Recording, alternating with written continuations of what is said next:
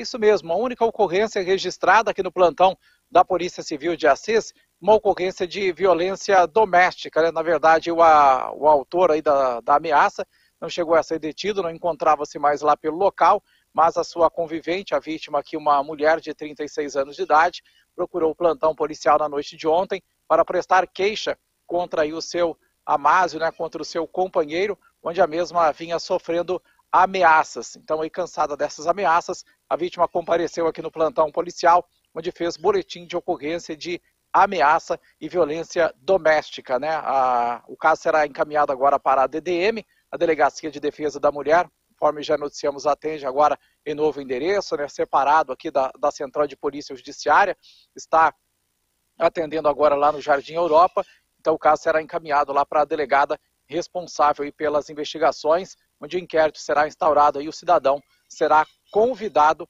a, a depor, né, dar aí explicações lá na Delegacia de Defesa da Mulher.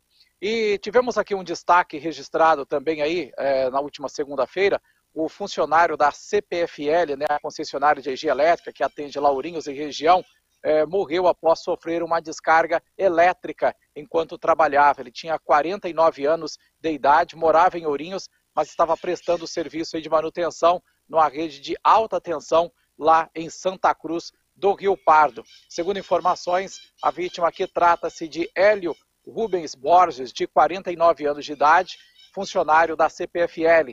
Segundo informações da Polícia Militar, que também esteve é, no local, o, o, atendimento, né, a solicitação entrou por volta das 9 horas e 15 minutos. Na chegada no local, equipes do SAMU tentaram reanimar o homem, mas ele não resistiu. O Sindicato dos Eletricitários, em nota, lamentou o acidente e se solidarizou também com a família do funcionário, que também era diretor da entidade na região. O sindicato informou que vai acompanhar a investigação para apurar a causa da morte do funcionário.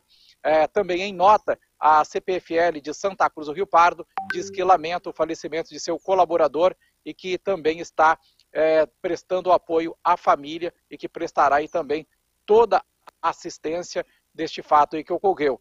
É, lembrando também que este acidente né, ocorreu lá em Santa Cruz do Rio Pardo, embora a vítima aí morasse na cidade de Ourinhos, onde foi atender um chamamento né, para prestar aí um serviço de manutenção, já que ele era funcionário da empresa e da CPFL. Infelizmente veio a sofrer essa descarga elétrica.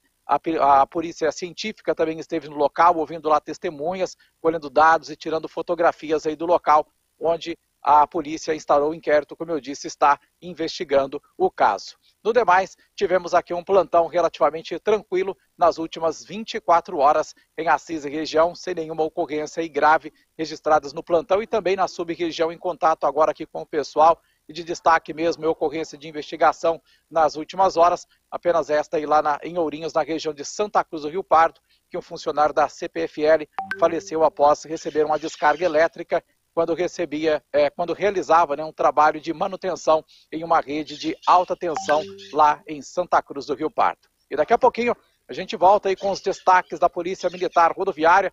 Vamos saber de tudo, mas tudinho mesmo das ocorrências das últimas horas aqui pelas estradas da nossa região.